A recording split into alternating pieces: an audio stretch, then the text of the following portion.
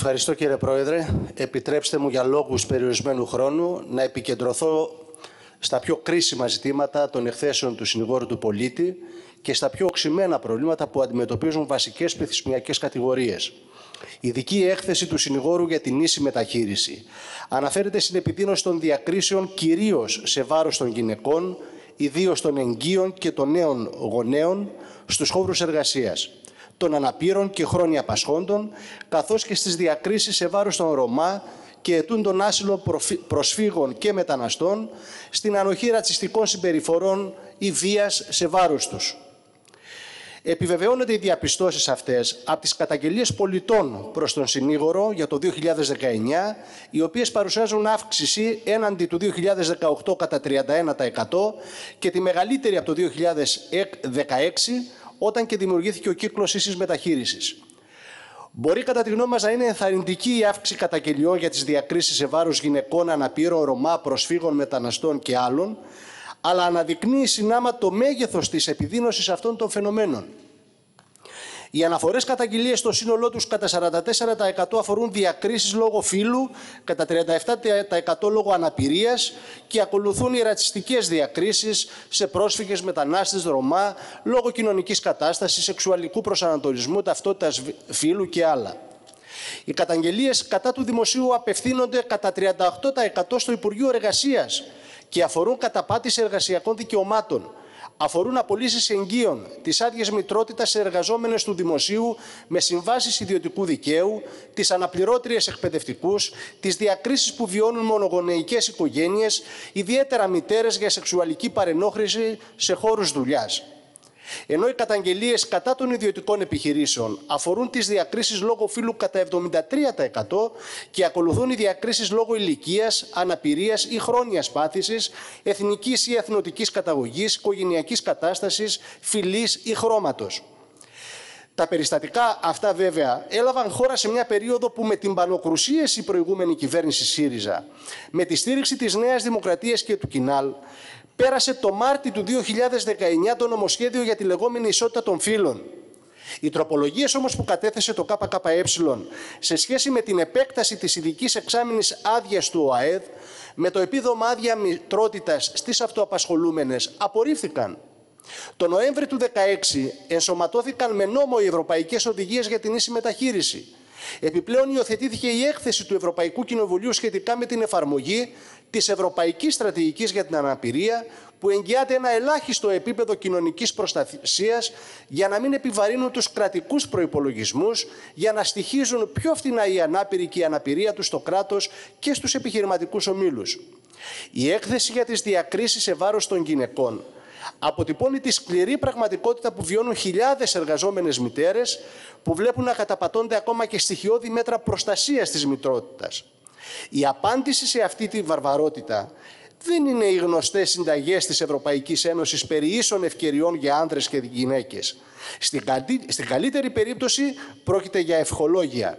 Στην πράξη κατακαιρματίζουν τη ζωή της γυναίκας, φέρνουν σε αντιπαράθεση το δικαίωμά της στην εργασία και την ανάγκη προστασίας της μητρότητας και της οικογένειας, δίνοντας με προοδευτικό μανδύα την ένταση της εκμετάλλευσης και της καταπίεσής της για λογαριασμό του κεφαλαίου.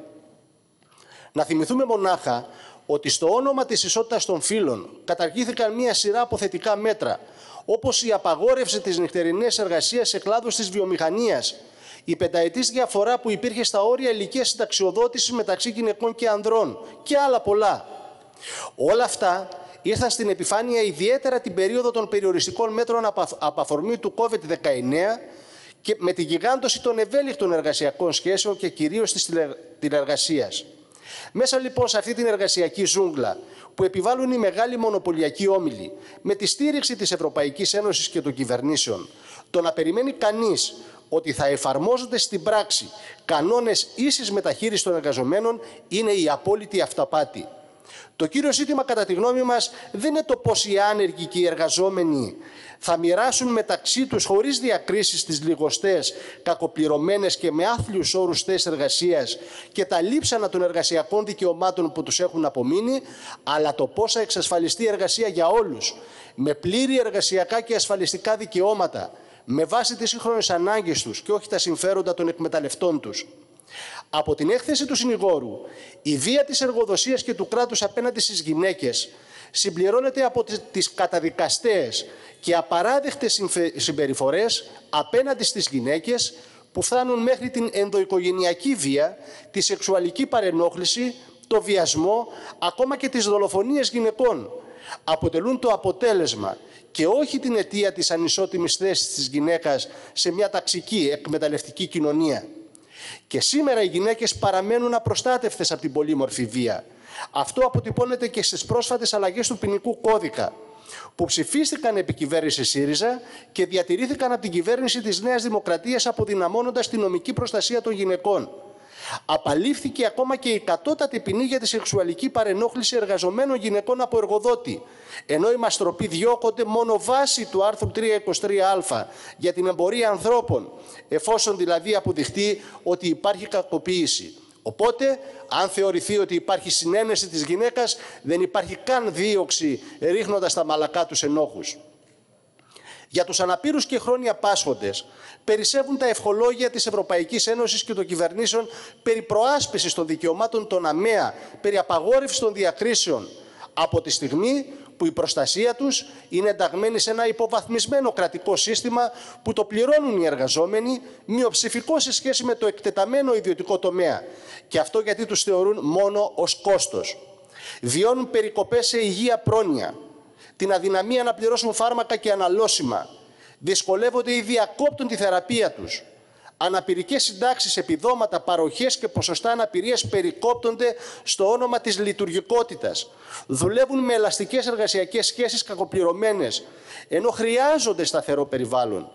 Πολλοί που εργάζονται απολύονται. Είναι ενωπή ακόμα στη μνήμη μας η εξαναγκαστική απόλυση εργαζομένου με αναπηρία από την Αλφα Bank με τη διαδικασία της εθελουσίας εξόδου ενώ με ελλείψεις προσωπικού και υποδομών στη δημόσια ειδική αγωγή έχουν οδηγηθεί πάνω από 200.000 ανάπηρα παιδιά εκτός εκπαίδευσης. Όλα τελικά καταλήγουν στον εργασιακό και ευρύτερα κοινωνικό αποκλεισμό των αναπήρων. Το ΚΚΕ τοποθετείται πολύ συγκεκριμένα για όλα αυτά. Πρώτον, τοποθετείται για την ισότιμη συμμετοχή της γυναίκας στην κοινωνική εργασία και στην κοινωνική ζωή. Για την εξάλληψη της ανεργίας και το δικαίωμα όλων των γυναικών, όπως και των αντρών στην εργασία, ως βασικό τους κοινωνικό δικαίωμα, με την ισότιμη συμμετοχή τους στην εργασία με σταθερή δουλειά, με σταθερό ημερήσιο ωράριο εργασίας και λιγότερες ώρες δουλειάς με μισθούς για να ζεις σήμερα σαν άνθρωπος, για το δικαίωμα προστασίας της γυναίκας στον κρίσιμο αναπαραγωγικό της ρόλο, με προστασία της εγκύου, της λεχόνας από την απόλυση των μονογονεϊκών οικογενειών. Έτσι μόνο μπορεί να εξασφαλιστεί στην πράξη η ισότιμη συμμετοχή της γυναίκας στην κοινωνική ζωή και δράση και να χτιστεί σε γερά θεμέλια χειραφέτησή της. Δεύτερον, τοποθετείται για τους αναπήρους, συνολικά για τα άτομα με ειδικές ανάγκες, τα οποία έχουν δικαίωμα στη ζωή, την πλήρη προστασία τους από το κράτος, δουλειά για όλους, τους ικανούς προ εργασία αναπήρους, με πλήρη και δωρεάν θεραπείες, φάρμακα, εξετάσεις, τεχνολογικά βοηθήματα για όλους τους ανάπηρους και χρόνια πάσχοντες, δημόσιες και δωρεάν δομές διάγνωσης, εκπαίδευσης και αποκατάστασης των παιδιών με αναπηρία και μαθησιακές δυσκολίες. Τρίτον, πραγματικά αν θέλουμε να μπει φρένος στις αδικίες σε βάρος προσφύγων και μεταναστών, ας ακυρώσει τώρα το μέτρο που πήρε η κυβέρνηση για έξωση 11.000 έως και 15.000 προσφύγων από τις, δημο... από τις δομές φιλοξενίας επειδή τα ευρωπαϊκά κονδύλια που χρηματοδοτούν αυτές τις δομές αφορούν μόνο τους ετούντες άσυλο καθώς και το μηνιαίο ποσοστό, ποσό ενίσχυσης των 90 ευρώ σε όσους παίρνουν άσυλο. Κανένας πρόσφυγας που έχει πάρει άσυλο να μην πεταχτεί στον δρόμο. Να παραταθεί το πρόγραμμα στέγασης των προσφύγων σε διαμερίσματα. Για όσους επιθυμούν να παραμείνουν στην Ελλάδα, να ληφθούν άμεσα μέτρα από το κράτος και όχι από τις ΜΚΟ για τη χάραξη σχεδιασμένης καθολικής ένταξής τους στην εργασία και την κοινωνία, με εξατομικευμένη στήριξη των προσφύγων και των οικογενειών, την εκμάθηση της ελληνικής γλώσσας και την τοποθέτηση σε θέσεις εργασίας παίρνοντας υπόψη το επάγγελμα και τις γνώσεις τους. Εδώ και τώρα να σταματήσει ο διπλός εγκλωβισμός τους, να κλείσουν όλα τα κέντρα φυλακές, ενώ η Ευρωπαϊκή Ένωση και ο ΙΕ να δημιουργήσουν υπηρεσίες υποδοχής και ασύλου στην Τουρκία, στα σύνορα με Ελλάδα και Συρία και από εκεί πρόσφυγες μετανάστες να μεταβούν κατευθείαν στις χώρες προορισμούς τους. Να καταγγελθούν και να καταργηθούν το Δουβλίνο και οι συμφωνίες, η κατάπτυση της Συμφωνία Ευρωπαϊκής Ένωσης Τουρκίας. Κυρίες και κύριοι, το ΚΚΕ δεν έχει αυταπάτες. Δίνει όμως τη μάχη σήμερα για να υπάρξουν κατακτήσεις και δικαιώματα. Έχουμε πλήρη επίγνωση ότι στον καπιταλισμό ποτέ δεν μπορεί να υπάρξει προστασία των εργαζομένων. Όταν μιλούν για εφαρμογή της αρχής ίσης μεταχείρισης, στην πράξη εννοούν φτώχεια, η εργασιακή ζούγκλα να ισχύει για όλους τους εργαζόμενους ανεξαιρέτως ηλικίας, φυλής, φύλου, θρησκεύματος, αναπήρων, αναπήρων ή άλλων ιδιαιτεροτήτων. Αναφέρουμε στις κυβερνήσεις και όχι βέβαια στο συνήγορο.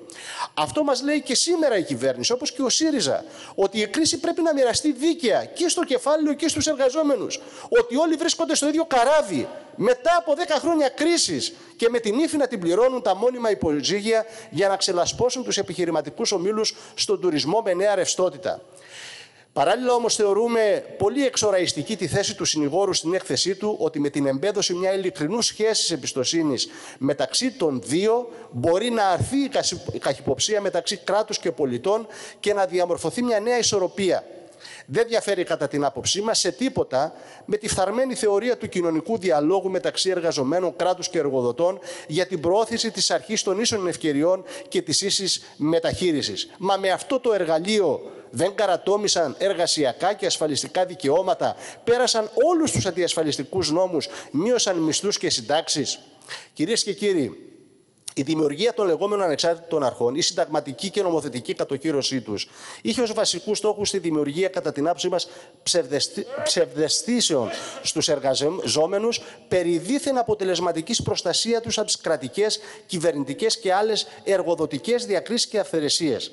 Στα πλαίσια αυτά το ΚΚΕ είχε χαρακτηρίσει προβληματική την ανάθεση στο συνήγορο του πολίτη της αρμοδιότητας της παρακολούθησης και της εφαρμογής της αρχής της ίσης μεταχείρισης ανεξάρτητα το ποιο κόμμα βρίσκεται στην κυβερνητική εξουσία. Τα ίδια τα στοιχεία του συνηγόρου αποδεικνύουν ότι τέτοια φαινόμενα δεν θα εκλείψουν σε αυτό το σύστημα. Τα παραπάνω δεν συνιστούν βέβαια αδιαφορία από το κόμμα μας για τα στοιχεία που παραθέτει ο, ο συνήγορος, τις γνωμοδοτήσεις και τα πορίσματά του. Αξιοποιούμε ό,τι αξιόλογο και θετικό παράγεται χάρη στην επιστημονική δουλειά, το μεράκι και την ευαισθησία των εργαζομένων σε αυτές για την αποκάλυψη του αντιδραστικού χαρακτήρα του καπιταλισμού και τις ανάγκες που έχει ο λαός μας. Τέλος, για το ΚΚΕ η ουσιαστική αλλαγή μπορεί να προέλθει στο βαθμό που αφισβητείται το βάρβαρο και απάνθρωπο καπιταλιστικό σύστημα και τη θέση πάρει το νέο, όπου το κριτήριο δεν θα είναι το κέρδος και η εκμετάλλευση ανθρώπου από άνθρωπο, αλλά η ικανοποίηση των σύγχρονων λαϊκών αναγκών με πραγματική ισότιμη σχέση των δύο φύλων, χωρίς κοινωνικές, φιλετικές, ηλικιακές διακρίσεις, των αμαία, των ευάλωτων κοινωνικών ομάδων, δίχως πολέμους και προσφυγιά. Και αυτό το σύστημα είναι ο σοσιαλισμός. Ευχαριστώ κύριε Πρόεδρε.